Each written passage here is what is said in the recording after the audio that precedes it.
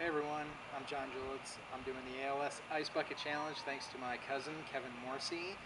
And if there's one silver lining to doing the Ice Bucket Challenge in Texas, it's 102 degrees here today. So with any luck, that ice is going to be pretty melted fairly soon.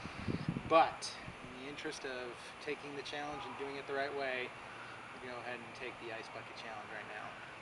But before I do, like to challenge my sister, Julie Albin, the best radio guy in Sheboygan, Ben Olson, and way out in California, Amanda Bastian.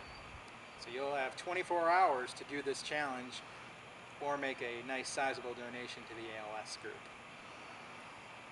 So I guess I gotta do this.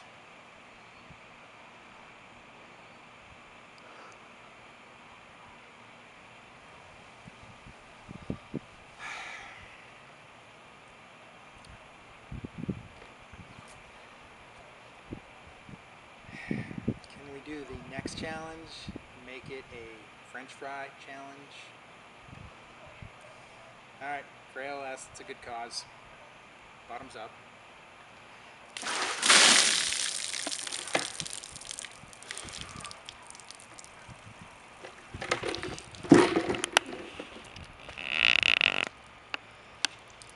Alright, next up,